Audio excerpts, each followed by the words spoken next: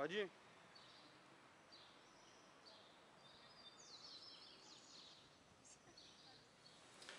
Medo da Eternidade ele é um curta-metragem piloto de um projeto intitulado Felicidade Clandestina.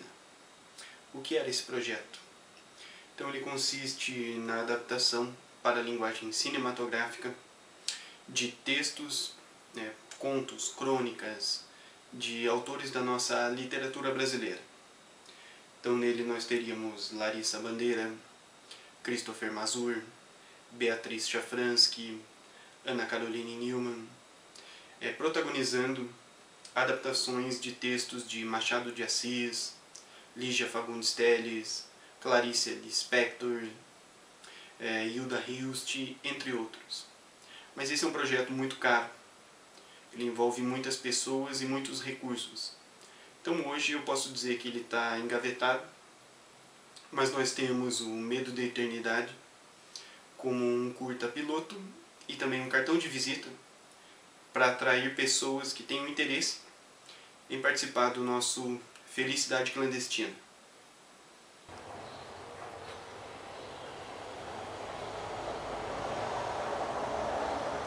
Você viu como que eu pego a caneta? eu conheci a Jéssica Emanuele durante a pré-produção do Medo de Eternidade. Então era meados de 2014 e conversando com ela sobre TCC, literatura, cinema, entre outras coisas, ela me pergunta o que é a HR Produções Artísticas e se eu trabalhava com cinema. Eu respondi que era um tipo de cinema específico, mas o cinema que a gente faz é amador. Então eu acabei convidando ela para participar dos nossos projetos, das nossas produções. Agora chupe chiclete para ir gostando do docinho dele. E só depois que terminar o gosto, você começa a mastigar. Aí mastiga a vida inteira, a menos que você perca. Eu já perdi vários. A pra mim ficou ótimo. No entanto, a Jéssica teve importância fundamental em outra etapa do nosso projeto, que é a abertura do Felicidade Clandestina. Então, para a abertura desse média-metragem, eu tinha pensado em caricaturas dos atores aparecendo na tela junto com os nomes deles. Então ela acabou tendo a ideia de, de procurar em aplicativos de celular, aplicativos gratuitos.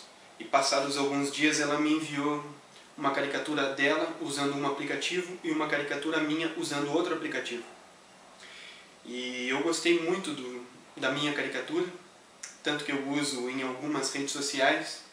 Alguns alunos acabaram vendo e, e acharam muito engraçado, acharam muito parecido. Então esse conceito que ela criou ficou muito interessante e a gente adaptou. Então, lembro de ter mandado várias fotos da Larissa e da Beatriz Chafransky é, para que ela fizesse algumas caricaturas. Então, lembro que a primeira que ela fez foi uma foto da Beatriz onde ela está com o cabelo curto e usando uma blusinha cor-de-rosa. Então ela fez, ficou muito parecido. E a gente achou que essa ideia acabou dando certo. Então a gente acabou gerando muito material e inclusive alguns testes para curtas-metragens usando essas caricaturas. Medo da Eternidade é uma crônica escrita por Clarice Lispector. Nessa crônica, Clarice faz com que o leitor reflita a respeito da eternidade, algo ainda tão incompreensível para a mente finita do ser humano. E o encanto dessa crônica está no fato de ser feito a partir do cotidiano de duas irmãs.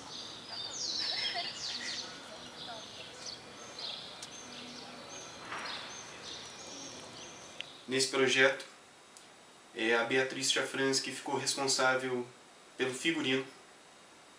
Então, não apenas pelo conceito, mas também pela confecção do uniforme das meninas.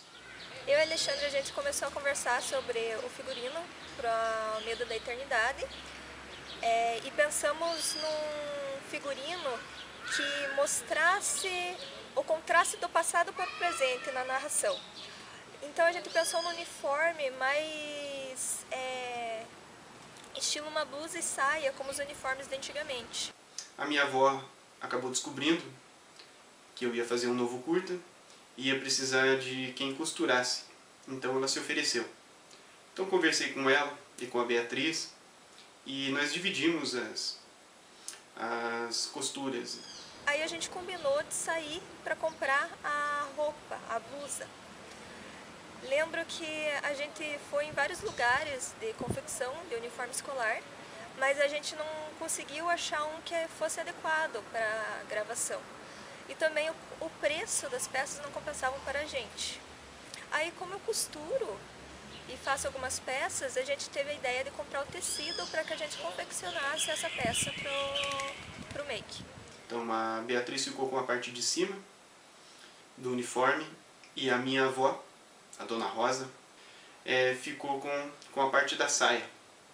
Então eu fiquei muito feliz na época. É muito gratificante ter uma avó participando, principalmente nesse tipo de arte. Aí a gente foi no tecido, compramos, eu lembro que foi bem barato e a gente depois foi atrás das meias. Na ideia inicial era meias pretas para combinar com a saia que a avó do Alexandre confeccionou pra gente, a dona Rosa Kalinowski. Só que não conseguimos encontrar as meias pretas e fomos atrás de meias brancas, estilo jogador de futebol. E a gente também encontrou por um preço bem barato assim. Então o custo do figurino para a gravação do Medo da Eternidade não foi um custo alto, foi bem barato assim porque a gente confeccionou as peças. Até nisso a gente dá um jeito de se virar nas nossas gravações. De novo, só que você tá com o livro virado para frente, você vai ter que inverter, vai. Vai, podemos ir de, de novo. É. Tá bom. Medo da Eternidade foi filmado no início de 2015 e em apenas dois dias. Foi feito a gravação numa sexta-feira à tarde e num domingo de manhã. Na sexta-feira nós filmamos as falas em off da Beatriz e as cenas onde ela escreve no diário. Nesse dia nós também fizemos uma pequena reunião para definir detalhes sobre a gravação de domingo, que era o diálogo entre a Larissa e a Beatriz e o caminho que elas tomavam para ir para a escola. É, na cena do chiclete, onde parece tão simples e aparece no vídeo tão pouco, é, foram utilizados um pacote de babalu para que a cena ficasse boa. Como assim não acaba? Não acaba nunca e pronto.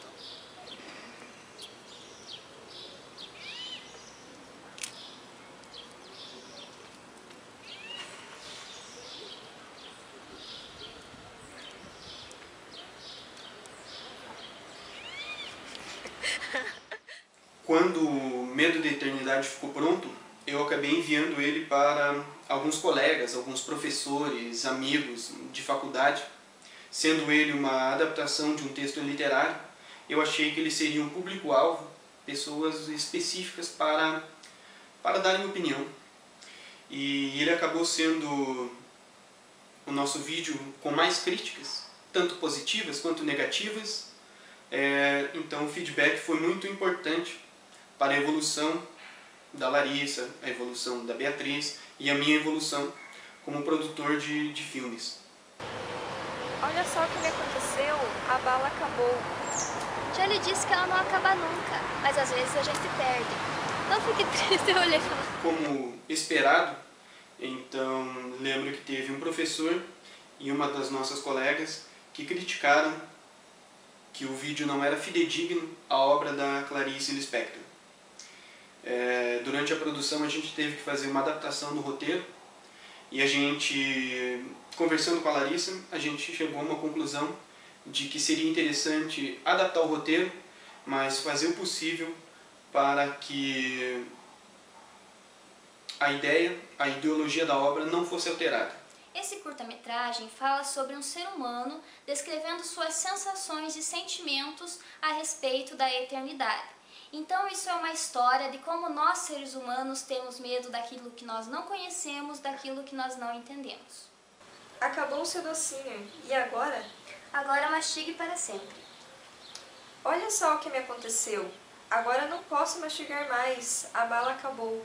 Já lhe disse que ela não acaba nunca, mas a gente às vezes perde. Não fique triste, um dia lhe dou outro, e esse você não perderá. Assim como os nossos curtas anteriores, os posteriores também vão ter vários erros e acertos.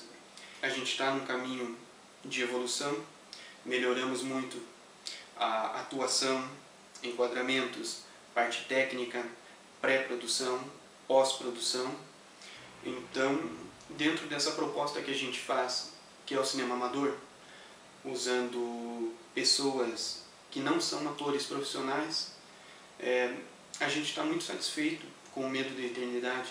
Então, entre esses erros e acertos, a gente pode dizer que houve uma evolução e, e em cada novo projeto a gente tenta implantar um elemento novo.